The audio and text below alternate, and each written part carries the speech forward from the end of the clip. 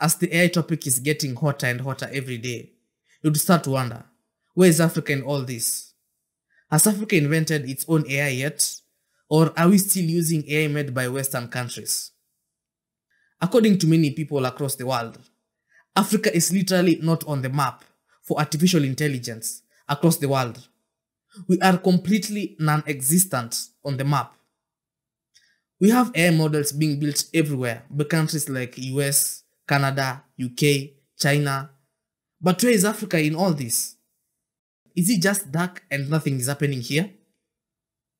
With majority of African countries not even having satellites in orbit, can they really compete in the AI race? Before we get started with our lists, check out this Nigerian humanoid AI robot called Jarvis. It's moving! It's moving! Go to this boy! You're moving it! It's moving, sir! You're not, you're not, you're not useless after all! Should I stop? No, no, you're crazy. Don't stop. Yeah, yeah, I know she's not a real AI, but for first AI, we have Fundamate.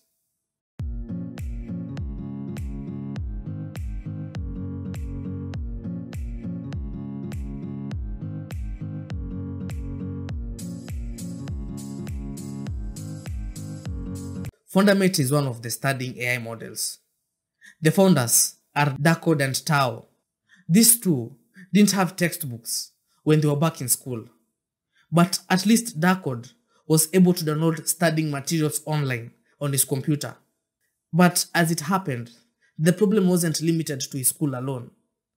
Many students were going through the same thing, where they didn't have textbooks um, in their school. So Darkode and Tao realized that most students don't have these books, but most of them have WhatsApp. How difficult are past papers to find? It's difficult. But with Fundamate, you can instantly get the past papers and the memo immediately, just like that. Yeah.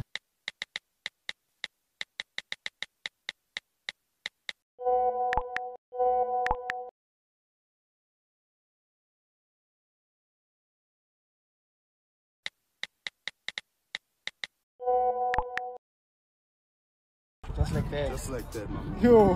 Past paper. now past paper icon and the memo. and the memo. Damn. Now, would you recommend this to anyone in your class, Yo, any of your friends? yo, 100%. 100%. would. I you would. And you I use would. yourself to make sure you pass matric. Man. Yeah, from now on, I will, I will use this. I know. Yo, yo. When WhatsApp opened its API to the public, Fundamate was born. Using AI, Fundamate can send you studying resources based on your subjects. You just ask Fundamate your studying questions on WhatsApp, and it shoots out an answer. And when they launched their video demo, they had 40,000 users within weeks. Downloads grew across Africa, starting in South Africa, Nigeria, and then Kenya. And soon, users started popping up in Indonesia, Colombia, and even India. By the end of 2022, they had hit 1 million users with no signs of slowing down.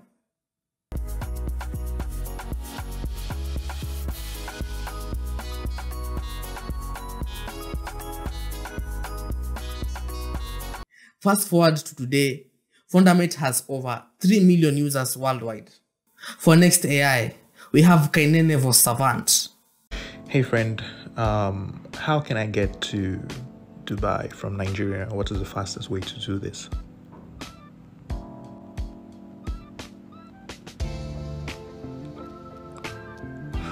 Ah, nice one. Oh yeah, use pidgin English. Take answer me again.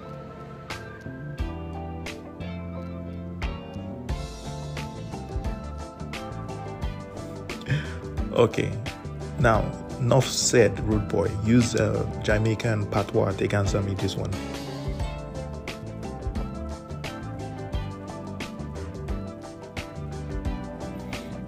When we're talking about any race in Africa, be it in AI race or any other technological race, there will always be that one country that will always be in the conversation, and that is Nigeria.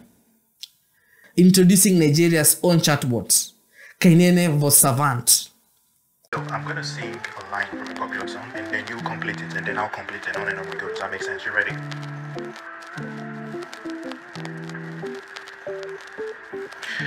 So can I get an encore? Do you want more?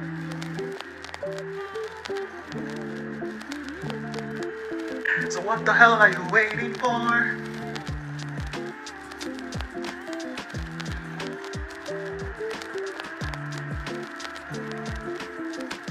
Who you know fresher than who? Riddle me that. It's similar to ChatGPT, of course, but it's an AI bot on Telegram. The AI was developed by Justin Irabor, who is a professional web developer and data scientist at an international university of applied sciences in Germany.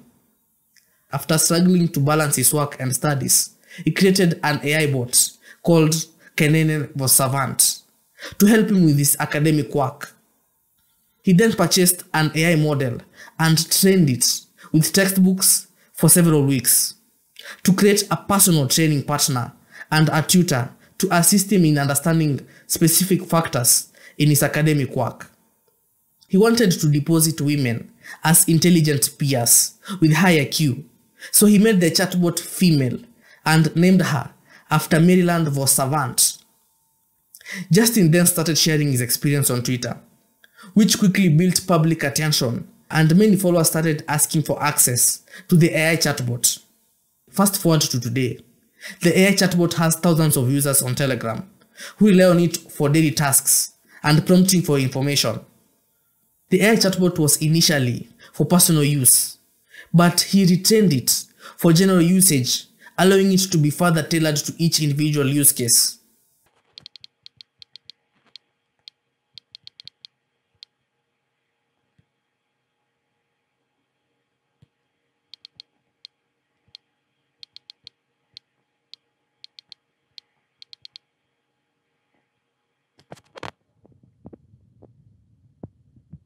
Kenene for Savant has a user interface and experience that many prefer over other AI chatbots, and it has been used to help with work and practical language, together with many more.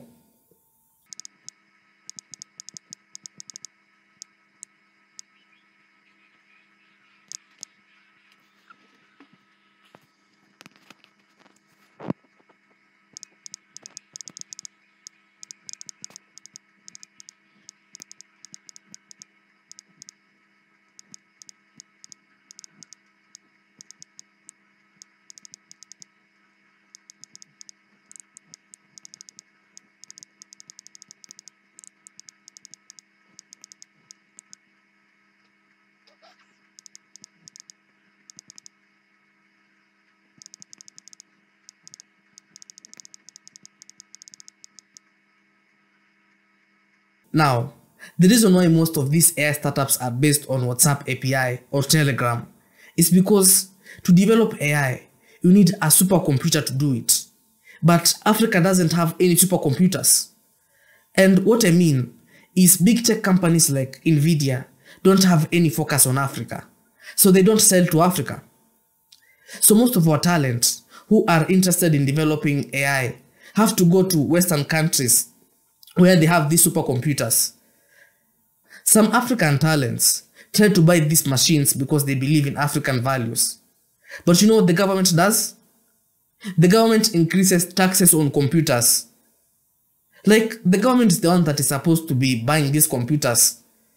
But for them, it's not that at all. They should like they should make the computers free of tax, of course, if they want Africa to develop in terms of AI or in the AI race.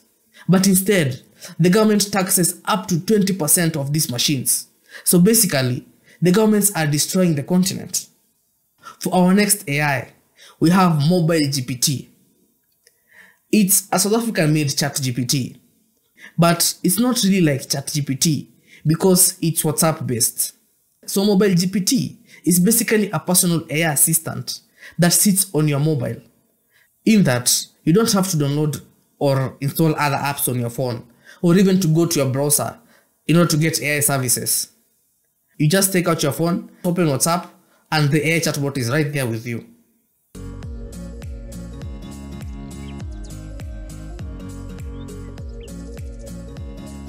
When you first get started with this AI, you have three options. You can either just have a chat, Having a chat will basically do the exact same thing that ChatGPT does. The second thing you can do is to generate an AI image. But first of all, I would press 2, all right, so that I get into the image section of the menu. You're selected to generate an image, describe the type of image that you want. You could say, hey, get a photorealistic image of a cat or whatever it is you could say in there, enter zero and all of that. So I'm going to put that in here.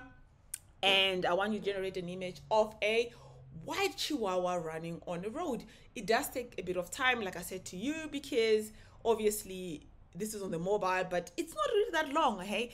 There's a white chihuahua running. And the third and most important aspect of this AI is that it can also generate documents. I want to generate a document and it's going to ask you what type of document do I want to generate. I'm going to say I want to generate a website, a website blog, a website blog, um, this is not website, website blog. Um, so okay, it's working on it. It's not regenerating it yet because I haven't told it what the blog is about. This is just the type of document um, that I want to generate. So once we've uh, we're done with that, then it's gonna come back and it's gonna say to me. So now that's a bit of this is a bit of a long uh, piece of instruction, but read this very carefully because this is so important. And the more information you give it, the better quality the document will be. We know this is like any other tool. Just So yeah, this is how this South African AI works. Do you think it will ever reach the level of ChatGPT? Let me know in the comment section below. And also, as you are continuing, please remember to subscribe and hit on the like button. Then we have Kudi AI.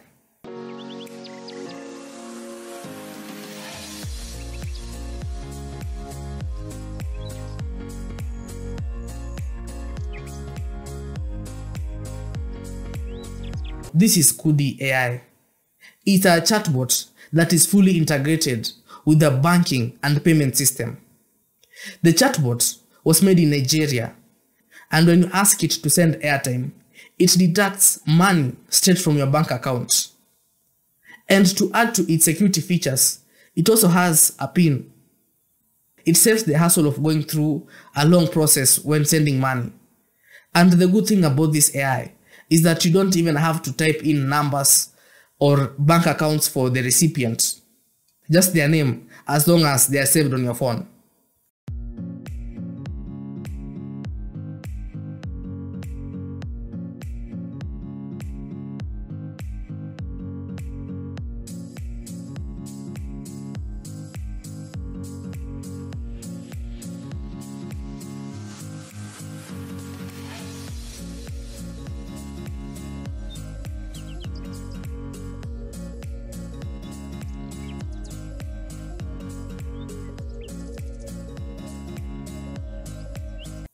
Kudi AI has over the years transformed so much that they even rebranded to Nomba. Nomba provides payment solutions, management tools, and banking services to over 300,000 businesses, helping them improve their processes and operate more efficiently. With a monthly transaction volume of $1 billion, Nomba holds a leading position in Africa's marketing for payment services in terms of gross transactional value, of course. And to think that they just started as an AI chatbot company, it's mind blowing. Then we have another AI from South Africa called Botlhale AI.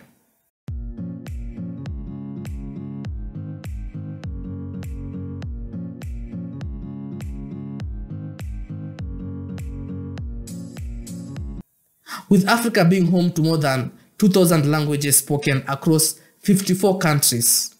Botali AI has made a model that is focused on helping businesses overcome language barriers.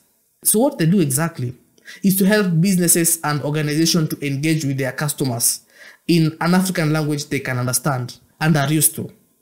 For example, it's an AI that translates languages for you. Let's say from English to one of the many languages spoken in Africa. For example, maybe Swahili and Igbo they do this with DSTV, where DSTV's customers on WhatsApp can interact with DSTV in African languages. So, what we do at Botlhale AI is we help businesses and organizations to, to engage with their customers in languages their customers understand and trust. So we use AI to enable this. So we do this in um, African languages. So we've actually recently just gone live with uh, DSTV. So DSTV customers on WhatsApp can interact with DSTV in African languages, in isiZulu, Sesotho, Afrikaans. That's what we do at Botlhale. And how it started was basically through a simple interaction with my grandmother, who Yeah. speaks Setswana, like me, ke Motswana. And she's asking me to load prepaid airtime for her on her phone, but she's saying in this, she's saying this in Setswana. The voucher's in English, her phone is in English, but she can't do it. So during uh, that interaction, that's when I realized, you know, there's a lot of people who struggle to um, use digital services or properly participate in the in the formal digital economy because of language barriers. You cannot register a business online if you don't understand English. You can't do banking if you don't understand English. But with this AI, you can. So the project between Botlhale, Chinosis and MultiChoice is essentially to localize their WhatsApp channel and making it available in three more South African languages, isiZulu, Sesotho and Afrikaans. And we do this using AI-powered natural language processing. Now, at least you know Africa is not that behind when it comes to the AI race. But at the end of the day, Africa doesn't have the required hardware that is required to develop AI. That's why most of these AIs are based on WhatsApp and Telegram API, as I mentioned before. And keeping in mind that Africa also has the lowest internet connectivity in the world. I guess this is one of the many barriers that has kept Africa lagging behind. But I hope maybe one day we'll catch up. Anyway, in the meantime, you can always subscribe for more inventions and things made in Africa where we go through them in this channel. I'll see you on the next one. Peace.